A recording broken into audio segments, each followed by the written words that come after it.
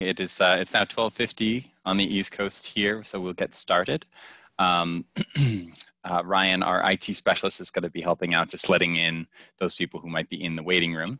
Um, but I thought we could we could get started um, uh, with with a few words to introduce Rose Gottemoeller. Um, Rose Gottemoeller is the the Frank E. and Arthur W. Payne Distinguished Lecturer at Stanford University's Freeman Spogli Institute for International Studies and its Center for International Security and Cooperation. Before joining Stanford, Gottemoeller was the Deputy Secretary General of NATO from 2016 until 2019. Prior to NATO, she served nearly five years as Undersecretary for Arms Control and International Security at the US Department of State, advising the Secretary of State on arms control, nonproliferation, and Political Military Affairs. While Assistant Secretary of State for Arms Control, Verification, and Compliance in 2009 and 2010, she was the chief US negotiator of the new Strategic Arms Reduction Treaty, New START, with the Russian Federation. The first of two lectures this week, Rose Gottemoeller will speak today on negotiating with the Russians, a personal perspective. Please join me in welcoming Rose Gottemoeller.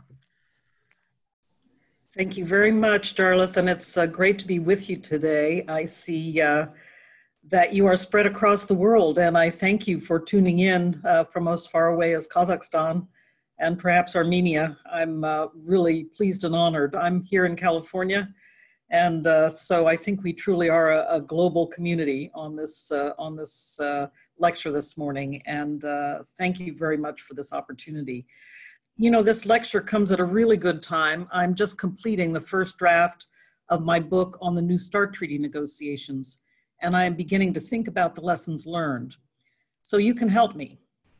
I will be interested to hear if both our American and Russian participants and participants from elsewhere react the same to my list of questions maybe you will think that some are not important at all, or at least shouldn't be priority lessons. Maybe you can tell me what you think should be the most important things in a negotiation from the perspective of your experience and your culture. So I truly will look forward to our discussion at the end of my, uh, of my lecture.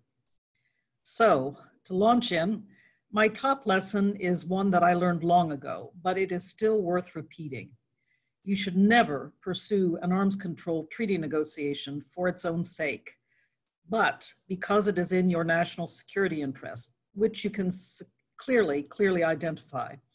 Your objectives in the negotiation need to serve that interest. Of course, the interests of parties sometimes clash, and that is where the need for flexibility and compromise come in. And I must stress that flexibility and compromise are always important to get to yes in a negotiation. Zero sum games simply don't produce success. It helps if the national security interest is articulated at the highest level by your president or prime minister, and if he or she gives clear marching orders based on that interest we were lucky in New York in the New START treaty negotiations because President Obama and then President Medvedev met early in London in April of 2009 and issued a joint statement to launch the negotiations. They then met again in July of 2009 in Moscow to issue a joint negotiating framework that laid out all the basic building blocks of the treaty and really gave us our marching orders to get into the detailed treaty negotiations. But that London statement early on clearly stated that the new treaty would replace the original START treaty, which was going out of force in December of 2009. That joint statement from London also clearly stated that the new agreement would be about reducing strategic offensive arms. This helped with later arguments from our Russian counterparts who kept insisting that we should look at constraining missile defenses in this treaty negotiation. But I kept reminding them what the presidents had said from their earliest meeting that we needed to focus on constraining strategic offensive arms. The missile defense issue would be dealt with in a separate negotiation, and indeed, there was a series of discussions about missile defense issues between the US and Russia at that time. Having a solid interagency delegation with representatives not only from the Foreign Affairs Ministry, or in our case, the State Department, but also the Defense and Security Ministries is absolutely paramount. If you're only negotiating with the diplomats, then you won't know if the military supports the idea of a new treaty. You may very well be wasting your time. We were nervous at the outset of the negotiations that the Russian military and intelligence services would not show up to serve on the Russian delegation. And then we were very relieved when not only a full team of experts showed up from those ministries, some of whom had worked in previous negotiations, like the START negotiations 20 years earlier, but they also uh, included some generals, that is, very senior military and intelligence agency uh, leaders. That showed broad support for the negotiations in the Russian government. That said, high level representatives, while necessary, cannot do all the work. You have to be willing to empower the experts to solve problems at the negotiating table. And in fact, we did have a series of negotiating tables in the New START Treaty. We broke out into working groups to look at the inspection regime, to look at how to structure the database, to consider how the notification regime would work. So all these very detailed matters were handled separately in different working groups and not simply in plenary session. It's the only way you can succeed. Otherwise, the negotiations will simply take forever. In the case of New START, we didn't have much time. We started our formal negotiations at the end of April 2009, after the presidents had met at the beginning of April 2009, and we were supposed to be finished by December of 2009. This was an unprecedented pace given the history the START Treaty, which was negotiated in the late 1980s and early 1990s, took six years on and off to negotiate. It took some convincing, but I finally got my Russian counterpart to agree to empower his experts to negotiate. Luckily, both teams, the US and the Russian team, had excellent working level people, weapon system operators, and inspectors who had worked on START and INF inspections they knew better than I did what was needed in the verification protocol for the treaty or the database or what notifications were needed to ensure that we were informing each other on a regular basis of, uh, of important developments in our strategic nuclear forces. So I just needed to empower those on the US side. And luckily, as I said, my counterpart agreed to do the same on the Russian side. So the basic lesson here is you cannot just depend on plenary meetings. They are very formal, they're very important, they record moments of great progress or moments of great disagreement. But you really need to have working groups working separately, hammering out the technical details, and you have to empower those experts on those groups to work through important issues and to come to some solutions. Otherwise, you will never get where you need to go. Next lesson. Don't think that you're going to negotiate the same treaty over again. For one thing, objectives and requirements change, and problems that cropped up in the implementation of the previous treaty need to be fixed. That was certainly the case with the START treaty. We had used counting rules in START by which the missiles were counted to carry the maximum number of warheads with which they had been, been tested. In the case of the US submarine launched missiles, the Trident missiles, they had been tested with eight warheads. So each Trident missile was always counted with eight warheads. However, the Navy decided to take warheads off the Tridents, as we say, to download those missiles, so that sometimes they carried no more than four warheads. For that reason, by the time we came to negotiate the New START treaty, the Trident submarine launched missiles had been seriously overcounted in the START treaty for some period of time. We needed to fix that problem to get an accurate count of how many US warheads were actually deployed, which we did by focusing in the new treaty on actually confirming the number of warheads on the front end of missiles through an inspection process that we called reentry vehicle on-site inspection. And it involved radiation detection, detecting whether certain objects on the front of the missile were nuclear or actually identifying them as non-nuclear. I should be precise here because each side declared the number of warheads on the front end of the missile, but sometimes there are other objects on the front end of a missile. For example, both sides use decoys for missile defense purposes. And so in order to identify which are those non-nuclear objects on the front end of a missile, we used radiation detectors to ensure that they were not nuclear in nature. This was an important change from the START Treaty, and I want to stress was an important innovation that is going to help us in the future with arms control treaties that are more focused on constraining warheads rather than delivery vehicles. We can come back to that in our discussion period if you like. It's an important technical detail, but I do believe that going forward, we will now focus increasingly on constraining warheads in addition to delivery vehicles and their launchers. So the delivery vehicles are um, the missiles and the launchers are, for example, the transporter erector launchers that uh, the Russians use to deploy their, um, their mobile missile systems. So again, um, it's important to be ready to innovate and not just stick with the way things were done in the previous treaty. And to me, that is a very important lesson. You have to be ready to innovate in the negotiations and not just repeat past problems. Next lesson, and this was important and also hilarious to deal with. Don't think that the negotiations are going to be the same. When I worked on the START negotiations in 1991, uh, 1990 and 1991, we had Xerox machines, but no email. We had secretaries and typists, but no email. My job as a young State Department staffer was to stuff the delegation cubbyholes or mailboxes with the latest versions of treaty language as it came in to us from the typists and was Xeroxed.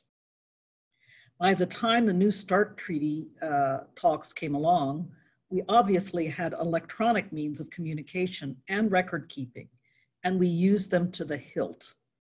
If you needed the latest version of the treaty language, you looked it up on your computer. You didn't look in your cubbyhole to see what the latest language was. In fact, we didn't even have cubbyholes during the New START treaty negotiations.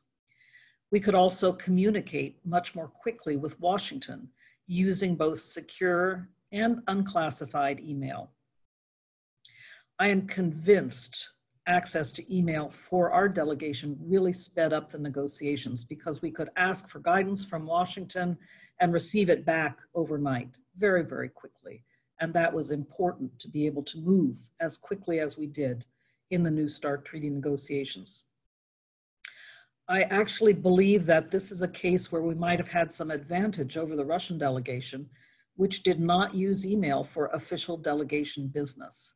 And that's an important point. I don't know what the official policy of the Ministry of Foreign Affairs in Moscow is today, but 10 years ago when we negotiated New START, they were still very, very dependent on cable communication with Moscow.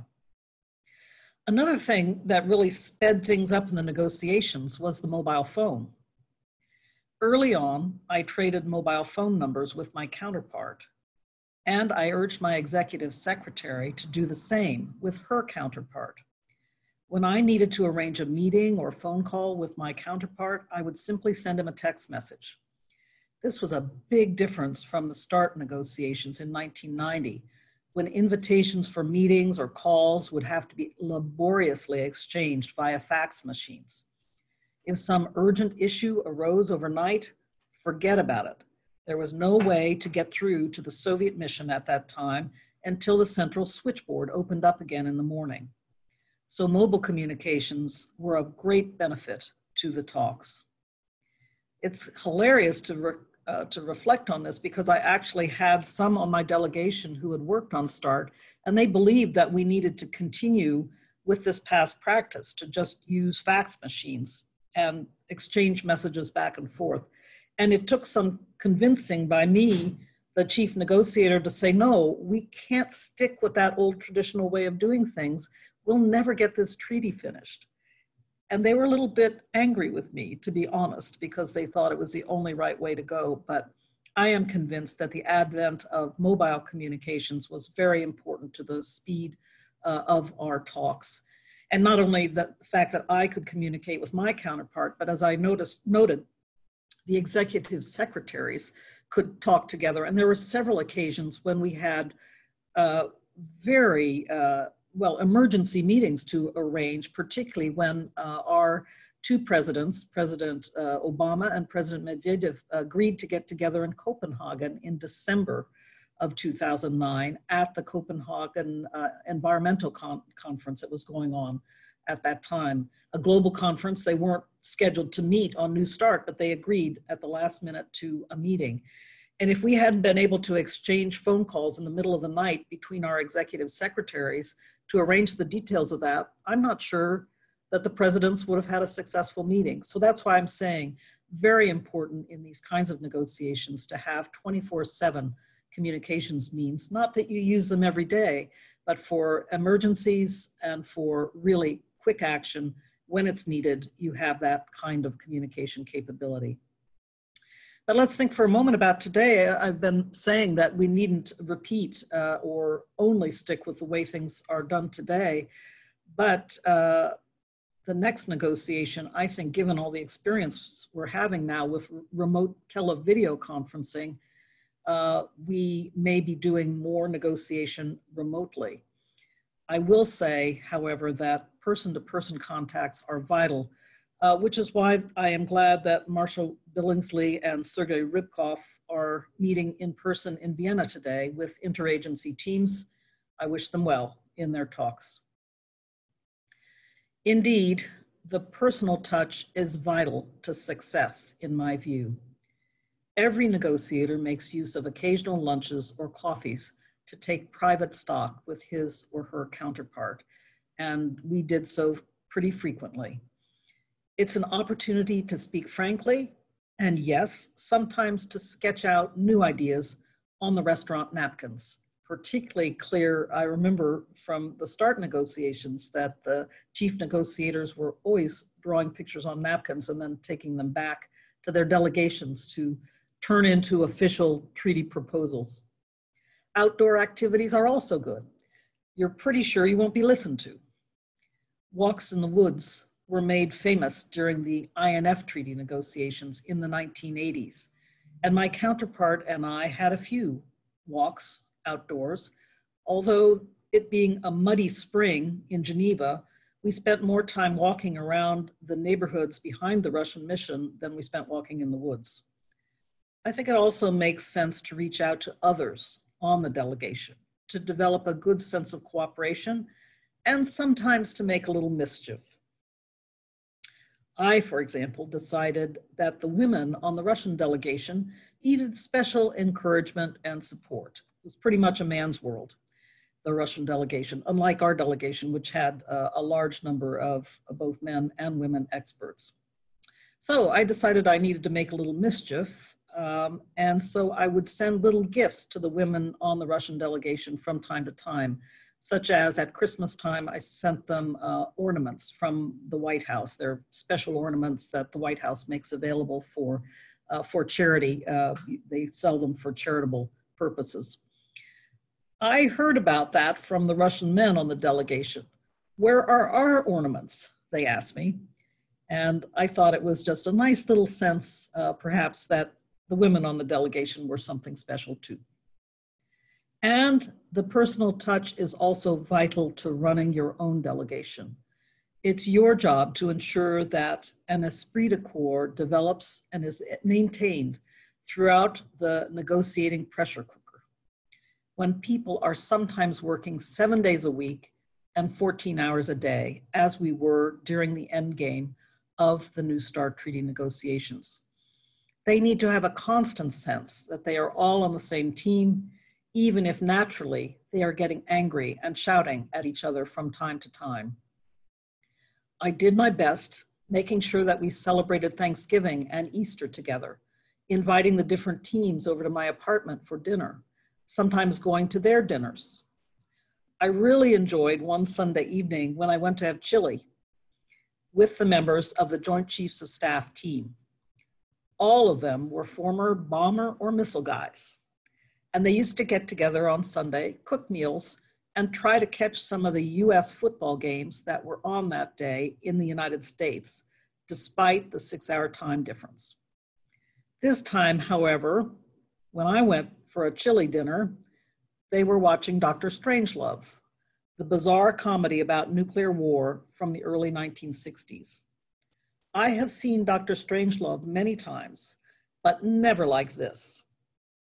The bomber and missile guys knew the dialogue by heart and could deliver the lines along with the actors on the screen. They also knew when those actors were cracking up with laughter during the ad lib scenes. I had never noticed before.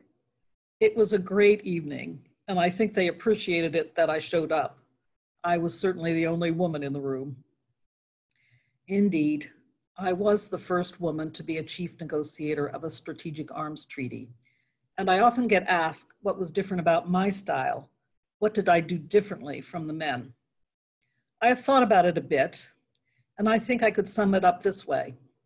My ego wasn't so invested in every minute at the negotiating table. Sometimes my counterpart played some outrageous games. In fact, he told me early on, to be fair, he told me early on that he loves to play games. But I didn't let it get under my skin. I got mad a couple times at the negotiating table, but I never got up and left. I think the fact that I used anger sparely and had a lot of patience helped us to move along more quickly than might have been the case in other times but that's a judgment that others will have to confirm. By the way, I take note that the US delegation in Vienna today staged a photograph with Chinese, Russian, and US flags at the table, evidently before the Russian delegation arrived, and then published it.